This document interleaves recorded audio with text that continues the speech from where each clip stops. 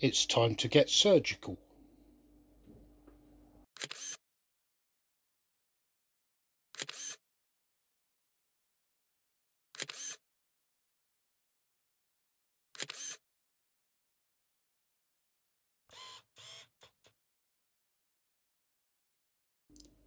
Hi, welcome back to St Blazey Model World. In our last Code 3 project, we looked at how to turn this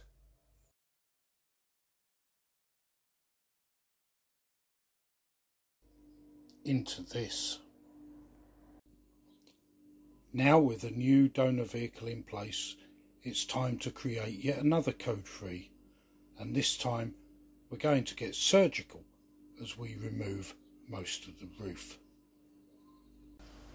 Now if you missed the first video on taking one of these EFE bus models apart, you'll find a link on the screen now.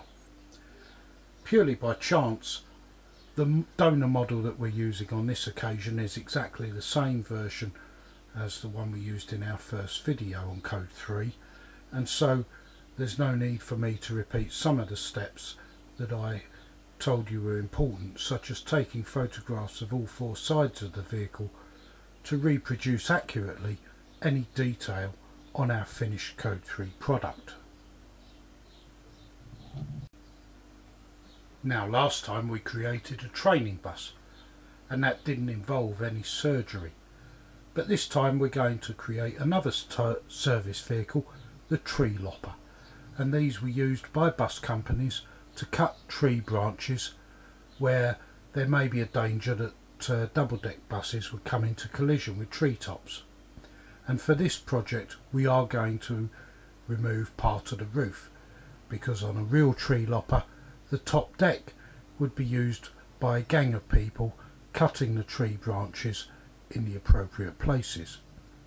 You can see that I've already marked on the donor model where I want my cuts to be and it will involve slicing the roof here so this portion will be retained and all of the window pillars between there and the rear of the vehicle and round of course on the other side.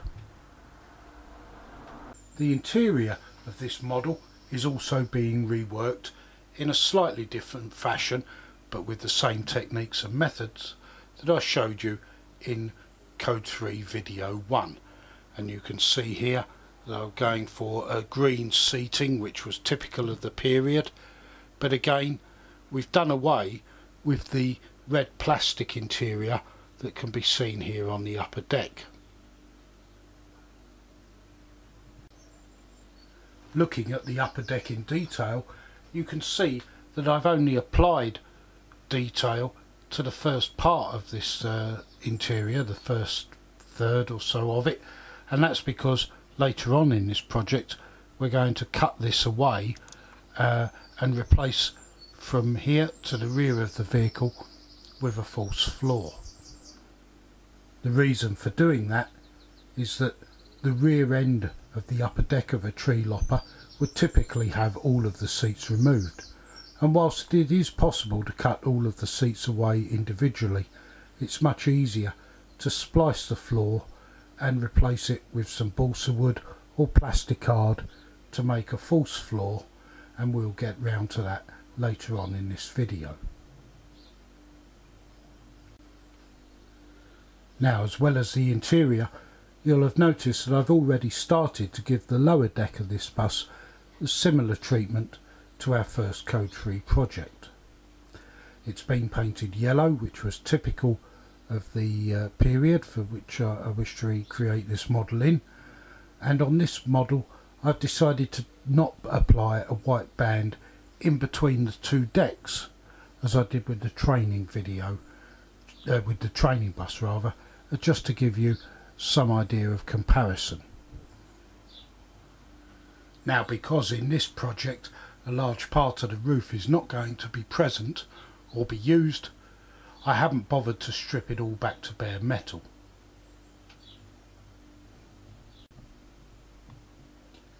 So now it's time to fire up my cutter as we remove most of the roof on this donor model.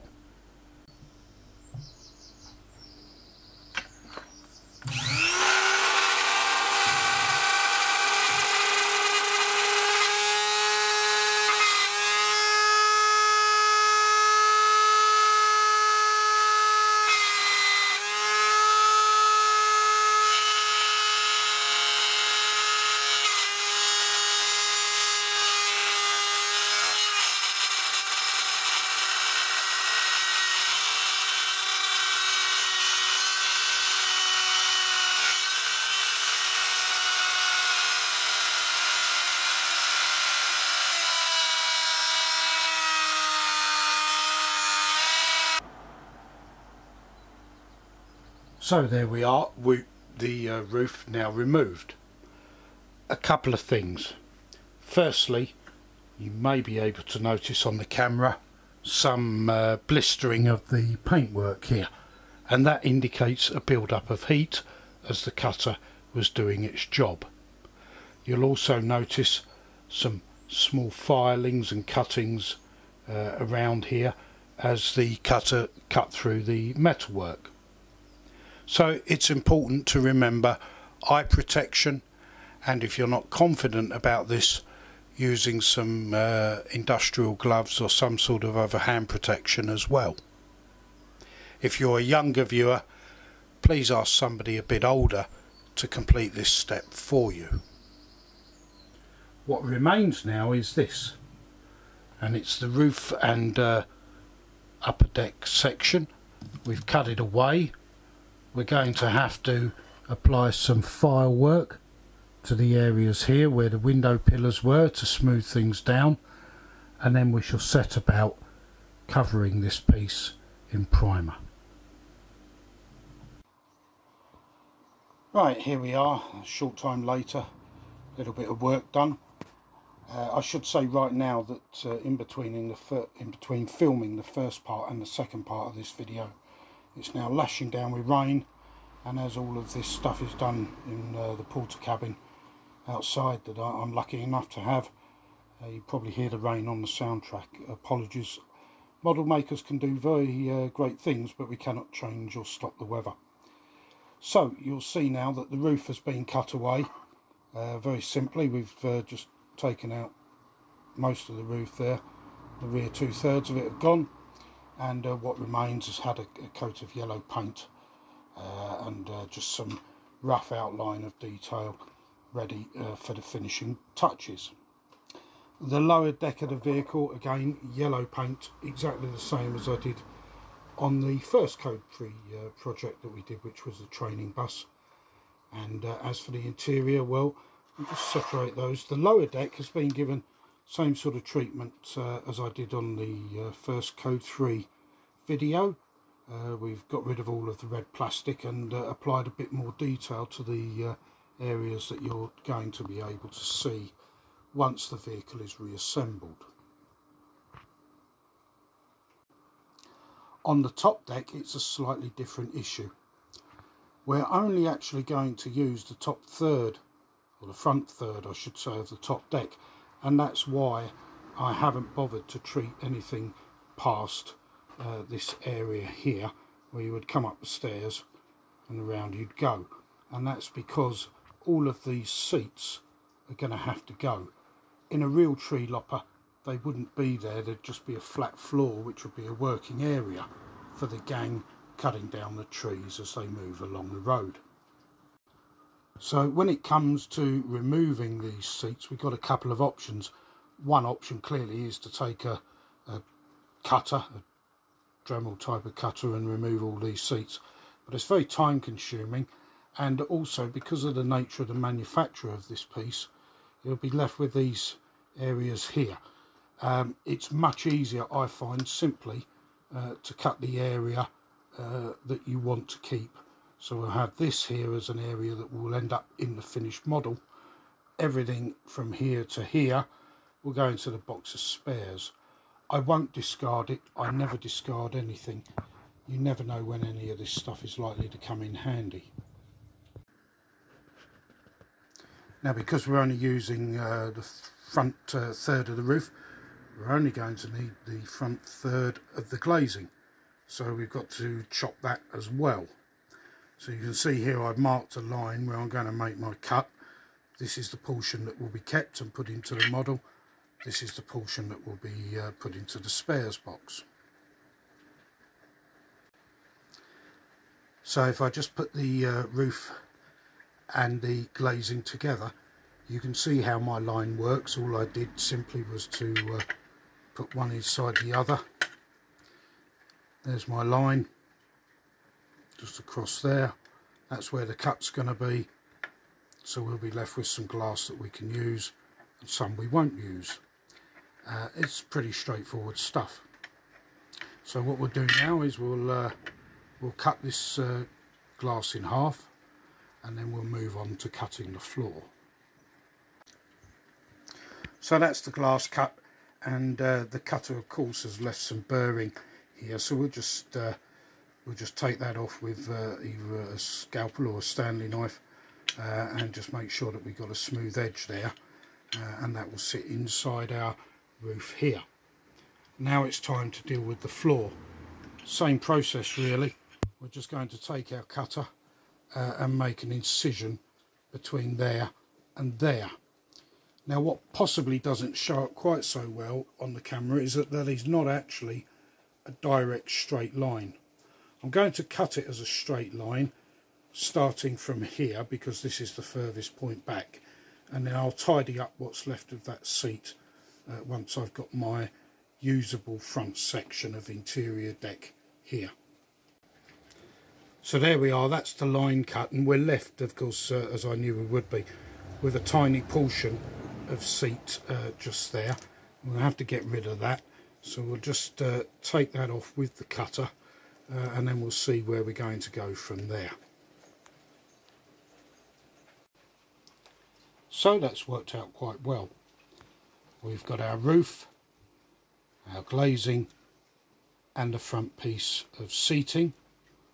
They'll live under here and uh, what we've got to do now is to consider options for a blank piece of flooring rearward of this part here um, and uh, we've got options for that. We can use some plasticard uh, we can use some plywood uh, whatever we tend to have lying around in our spares box.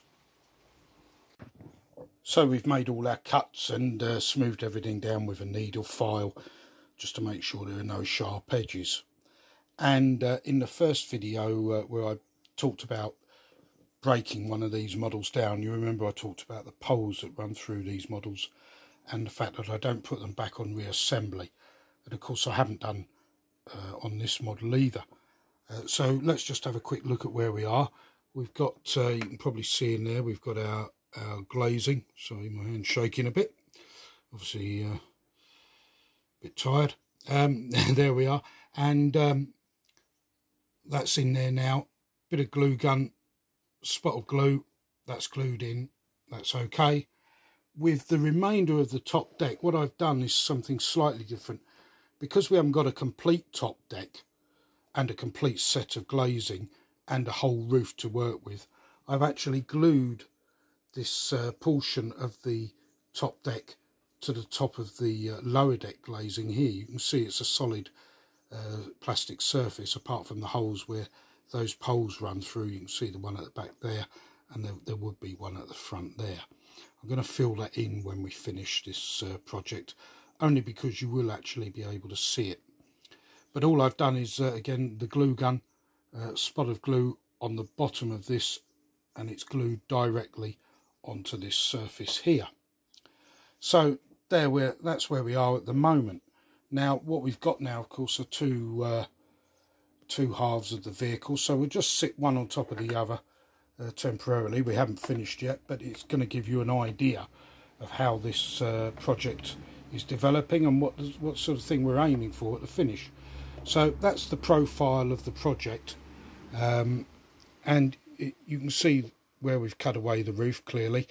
You can also see that we've still got to put in a section of floor from the piece that we cut away to the rear of the vehicle because uh, that wouldn't be there. We can do that. We can put a false floor in with some balsa wood. And the other thing that we could do is to simply is to paint the uh, top of the glazed surface. But of course, that does still leave us the hole here uh, for the uh, the pole. Uh, there are so many ways you can do these things. I tend to do, you'll have to forgive me, I never really tackle the same thing twice in the same way, only because I'm forever experimenting and trying to find a better way. One of the things we could have done with this was uh, put in a small piece of plasticard or balsa wood on the underside of this surface, filled in this hole, and then we could have painted the uh, the top of the uh, interior glazing on the lower deck. But that would leave us with a step here. Would it matter? Probably not. Are you ever going to see it? Well, unless you're showing it the model to somebody close at hand, no. Um, is there are just different ways you can do it. Um, what I'm going to do with this model is to um, use some leftover balsa wood and create a false floor which will be glued on top of this surface here. That will remove that hole then and you won't see it. That hole is going to be filled uh, with some um, putty filler or model filler, something like that. I haven't decided yet. And uh, that's where we are. So that leaves us uh, with our tree lopper as it is at the moment. So the next thing to do is to deal with the floor. We'll make a start on that and come back to you shortly. Okay, there we are. There's our false floor glued in. It's a little bit of a patchwork uh, quilt. That doesn't matter. It's going to be coloured. Uh, you won't see the joins. And just by a bit of variation, uh, that was put in using uh, a bit of Humbrol uh, Brit uh, Humbrol Britfix uh, poly cement, polystyrene cement. There we are. Uh, not a great fan of that stuff, I have to say. If you've ever tried to build a kit with one, you'll know that it comes out in globules. Uh, but for this job, good enough. So we'll get uh, some colour applied to this once it's dry and see how it shapes up. So there we are, there's um, our patchwork uh, balsa wood false floor put in with uh, some uh, paint added to it now.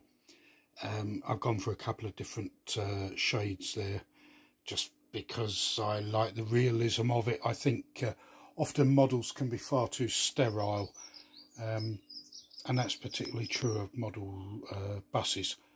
Um, I've spent most of my working life in this industry with buses and coaches and uh, it's true to say that buses are very rarely spotless or unblemished or undamaged and I try to recreate that in uh, the models that I produce.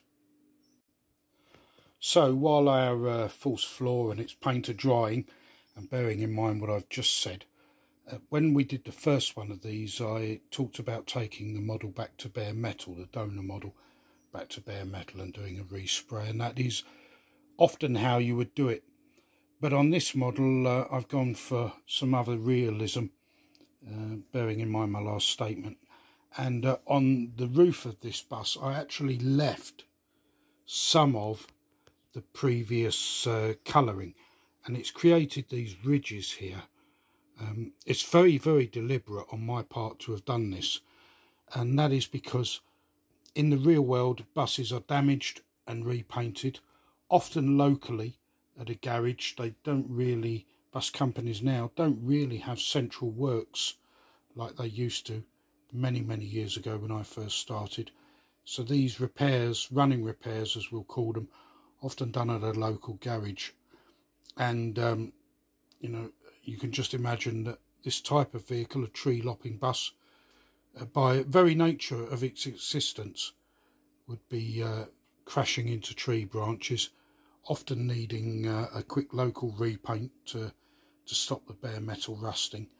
And this is the sort of effect that you would end up with. So that's what I've gone for on this model. Well, there we have it. Uh, floor in, everything dry. The model's been put back together.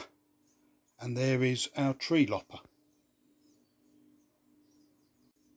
All that remains now is to finish off by applying the detailing and uh, you'll see a link for a video on how to do that at the end of this video and uh, that's the project almost complete.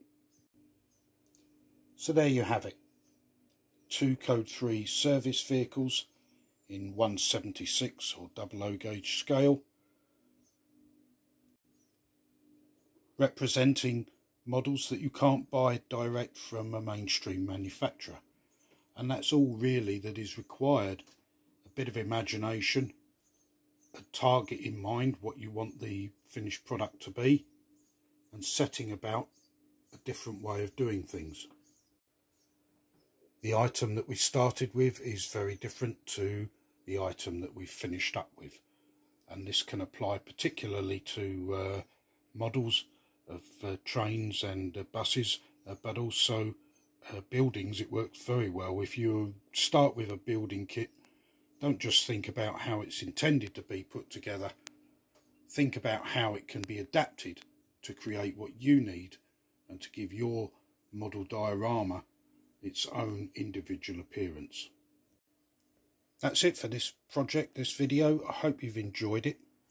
Please remember to subscribe and give us a thumbs up. And we'll see you again very soon at St Blazey Model World.